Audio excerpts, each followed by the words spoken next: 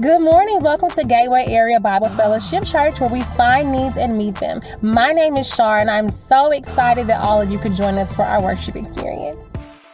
Are you interested in the business of the church and the direction of our new pastor? Then join us for a church meeting on June 4th at 2 p.m. here at the church.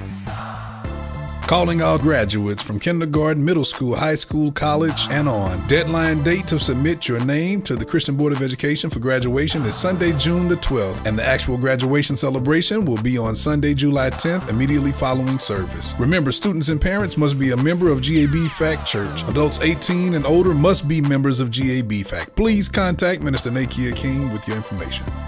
Attention all youth! Children's Church and Teen Church returns this June. Let's get excited because that also means that you will now have First Fridays, a special youth gathering every first Friday of the month.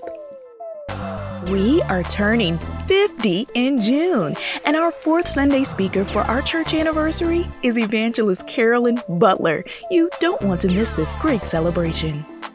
Memorial Day is coming up, and that means we will not have Youth and Teen Bible Study on Monday, May 30th. Tuesday night Bible Study on May 31st is also canceled. Enjoy the break, and we'll see you back the following week. Hi, church family. I'm Kara Anthony. You might know me from 5 a.m. prayer, but I'm here to invite you to 6 p.m. prayer on Wednesday nights. The Bible says to pray without ceasing, so come join us. When was the last time you invited someone to church? You want to be able to give anywhere, anytime? If you just download the Givelify app right to your phone, you can pay your tithes, your offering, you can give a donation. Just download the Givelify app, put in the church's name, and it's that easy. Anywhere, anytime, you can be a blessing to the church.